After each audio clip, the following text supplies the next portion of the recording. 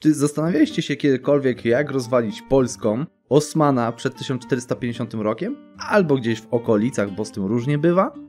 Jeżeli tak, no to oglądajcie dzisiejszy odcinek. Witam wszystkich imperialistów, tutaj Lukas. Widzę po odcinku, że, gdzie Bałtyk był wewnętrznym jeziorem Polski, że takie odcinki bardzo Wam przypadły do gustu i chcecie ich więcej na kanale na pewno, więc dajcie mi znać z jakich krajów byście zobaczyli takie strategie openingowe, e, gdzie bardzo szybko blobuję dany kraj albo coś nim robię, żeby był w zasadzie już niepowstrzymany i miał otwartą drogę do WCK. Dajcie znać, piszcie mi koniecznie w komentarzach, jakie kraje byście chcieli zobaczyć lub lajkujcie jakieś kraje, Im więcej lajków na jakimś kraju, też tym prędzej go wybiorę.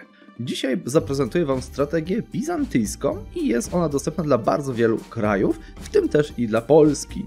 Polega ona na tym, że musimy na początku zwasalizować właśnie Bizancjum, a potem spuścić łomot Imperium Osmańskiemu.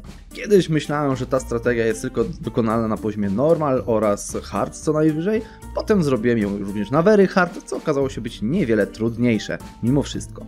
Poza tym uważam, że ta strategia jest tą strategią, którą jeżeli chcecie zrobić polską, podbój świata, no to to jest ta strategia, którą powinniście wybrać. Ona znacznie ułatwia cały podbój. Ponieważ najpierw rozwalacie Imperium Osmańskie, a następnie macie bardzo, bardzo łatwo już jak dotrzeć do Indii. Swoją drogą, jeżeli chcecie zobaczyć serię z podboju świata, gdzie Polską na poziomie Very Hard podbijam świat, powinien Wam się wyświetlić link teraz w górnym prawym rogu odcinka.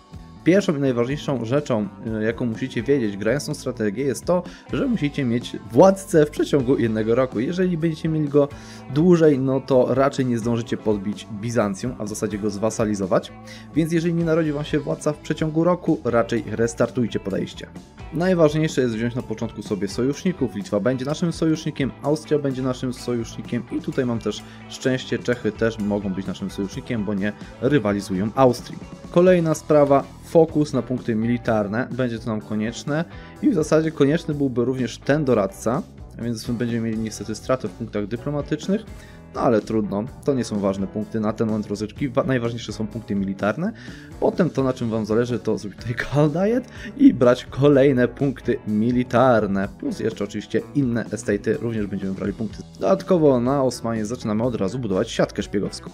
Tak jak mówiłem, mamy tutaj naszego władcę i bierzemy, żeby mieć Karola Gosie, o Boże Gosiewski, tfu, nie chcę go. Mamy też dodatkowego fuksa, Osman pierwszą wojnę wypowiedział Cyrkazji i Gruzji, dość nietypowa wojna. To oznacza, że dość późno wejdzie w Bizancjum.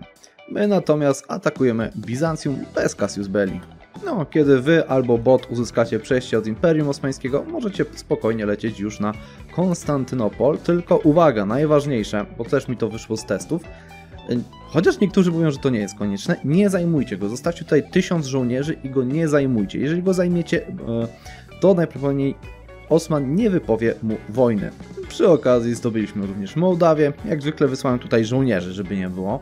Jak widzę, Warszawa znów bardzo dzielnie się broniła. Mm, rozwijamy technologię czwartego poziomu, a potem piątego, jeżeli się nawet uda. W międzyczasie atakujemy armie bizantyjskie na naszym terytorium, żeby się ich stąd pozbyć. A jak się uda, to, to również zrobić im stack wipe'a, podbijać nasze terytoria, a żeby mi tutaj za bardzo nie bruździli, bo po co mi oni tutaj tak naprawdę na tych tyłach. Nie jest to nam w ogóle potrzebne. To, co jest nam potrzebne, to to, żeby Imperium Osmańskie zaatakowało Konstantynopol. Na szczęście mają już claima, i teraz pozostaje nam już tylko czekać. Tylko mówię, nie możemy zdobyć tej prowincji. No, trochę gorzej się dzieje w momencie, kiedy hmm, musicie jeszcze iść podbić Gdańsk, znaczy w sensie Zakon Krzyżacki. Chociaż mając tą jedną technologię przewagi, no wojska zakonu nie są dla nas żadnym tutaj przeciwnikiem, bronimy je, pokonujemy nawet kilka razy i za chwilę się ich totalnie pozbędziemy. Potem zajmiemy cały tutaj ten obszar, no i jeszcze będziemy mieli Gdańsk na wasalu. Hmm. Tylko niestety ten głupi Osman nie chce tej wojny wypowiedzieć. A na to nie mamy żadnego wpływu. Raz bot wypowie wojnę, raz bot nie wypowie.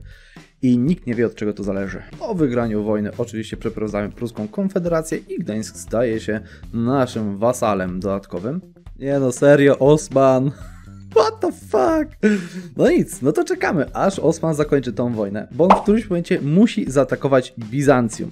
Co prawda zazwyczaj najlepiej, żeby to zrobił jak najszybciej, no ale cóż, nic na to nie poradzimy. No bez jaj, Albanię teraz atakują, kiedy zaatakują?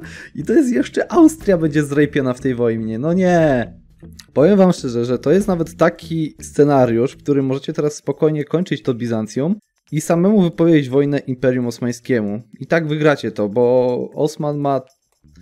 No zobaczcie, jaki tutaj Bęcki będzie zbierał za chwilę Osman. Chociaż wygrał tą bitwę. Nie, wycofał się, przegrał. Ale to nie o to chodziło w tym odcinku! Dobra, ja sobie restartuję. Pamiętaj imperialisto, na stronie meba.com możesz nabywać gry z kodem LUKAS. Możesz to zrobić mając 3% obniżkę. Linki w opisie. Jak to się mówi, do czterech razy sztuka Osman wypowiedział wojnę Bizancjum. I powiem wam, że jedyną zmienną, jaka tutaj była na tym podejściu jest to, że nie wziąłem sojuszu z Brandenburgią, bo o tym zapomniałem. Dajmy Osmanowi przejście, niech poczyści Bizancjum na moich terenach. No i mamy to, drodzy widzowie, moi kochani, mamy okupację pełną Bizancjum, możemy uczynić ich naszym wasalem. Więc tak, weźcie teraz taką chwilkę sobie przerwy, bo za chwilę zobaczycie, jaka tu jest symfonia rozwałki totalnej. Nasze wojska bezpiecznie już wycofujemy do Mołdawii. Poczekajmy, niż tutaj garnizon się zwiększy do 3000. Będzie wtedy to znacznie dłużej odbijał sobie wtedy Osman. Mamy jedną technologię przewagi ponownie nad Osmanem i będzie to bardzo przyjemnie zrobić. Bierzemy Bizancjum na naszego wasala. Mamy wojnę z Imperium Osmańskim, ale jest to wojna obronna, która dla nas się dopiero zaczęła. I w sumie nie mogę, nie mogę, a szkoda, fajnie by było. Wezwanie do broni, zostaliśmy zaatakowani, nikt tego się nie spodziewał. Czas spuścić Osmanowi sromotny. Więc tak, drodzy widzowie, kiedy dojdziecie do tego momentu, możecie spokojnie usiąść wygodnie w fotelu, sięgnąć sobie po wasz ulubiony napój, herbatę, kawę czy coś innego i po prostu przełączyć na piątkę i patrzeć, co tu się będzie wyjebistego działo, bo Osman tego nie przetrwa, my nie musimy tutaj brać udziału w tym. Już wojska spod Konstantynopola wycofane, my zajmujemy teraz Edirn, na północy wojska austriackie. 130 tysięcy przeciwko 32 tysiącom? To jest nie do zrobienia. Nawet na poziomie Weryhard byłoby to jakieś 160-170 tysięcy przeciwko 40 tysiącom Osmana. Naprawdę. Często też w tych moich podbojach pytacie mnie o koalicję, jeśli dziwicie, że jej nie mam i jak sobie z tym radzę. No to tak widzicie, koalicji tutaj za bardzo nie miałem z kim nabić. Nigdzie nie mamy agresywnej ekspansji zbyt dużej. Maksymalnie to jest chyba 31 z Wenecją. I tyle. Nikt nie wejdzie nam w koalicję. Jeszcze teraz zostajemy Turko Polish Tension, dodatkowy manpower. Czemuż by nie? I klejmy na Edirn. No nie, Gdańsk się odpalił w tym momencie. Do walki! No, całkiem nieźle. Piękne zwycięstwa dzięki przewadze technologicznej. Piękne.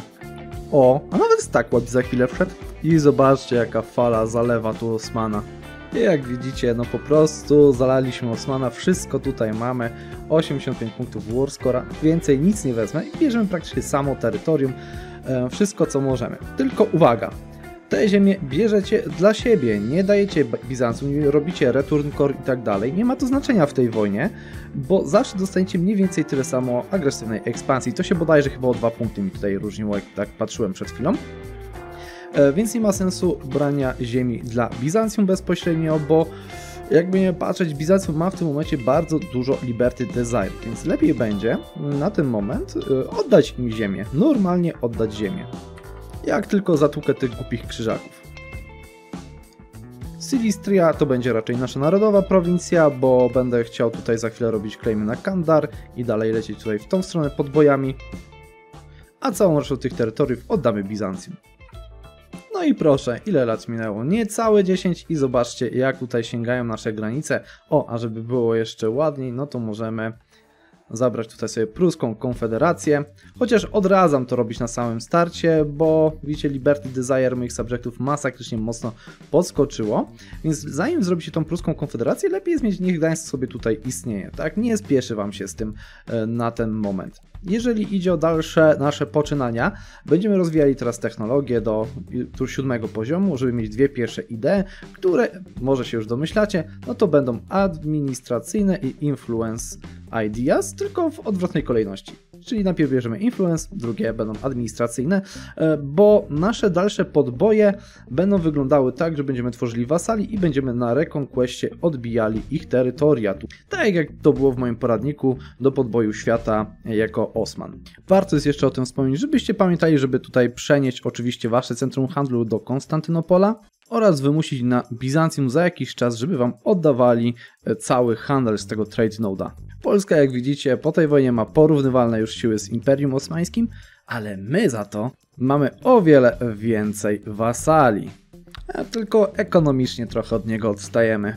Ale stajemy się za to jednym z większych państw na świecie, zajmujemy szóstą pozycję.